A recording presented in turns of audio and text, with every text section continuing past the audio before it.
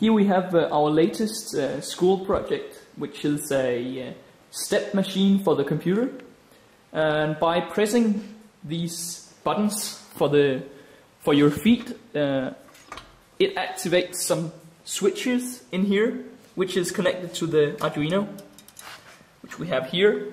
And the Arduino sends some information to the computer every time uh, you step, telling the computer which feet is pressed down. So on the computer, uh, we have a software running in the background, uh, which then controls uh, your keypads, uh, the W and S and A and D so uh, pressing on these will make you walk inside of, for example, Counter-Strike.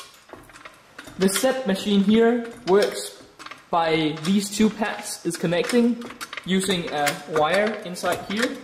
So when you press one pad, the other is going up and uh, opposite. And the sensors in here, you'll notice they go in and out. Uh, differentially. So when the one is in, the other is out. And you'll see that the Arduino sends all those steps to the computer. And then we added some uh, pneumatic pumps to uh, add some uh, resistance to the pads. On the computer, this uh, software is running in the background. You'll see, you'll notice this Stepper controller application. If we uh, right click the application, we will uh, have a menu available which says settings or close.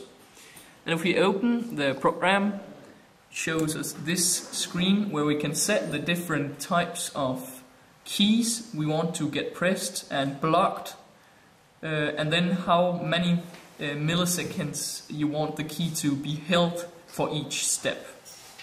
So uh, let's try to uh, use this step machine in uh, Counter-Strike.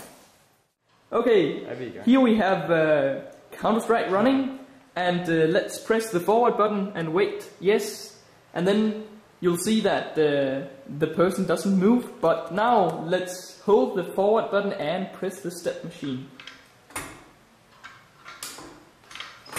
And you'll notice that the man is walking when he steps. So try keep holding the forward button but stop stepping. Uh, yeah, so then it stops. It walks for those 700 milliseconds and then it stops. Try to uh, walk again. Yeah, just uh, walk around.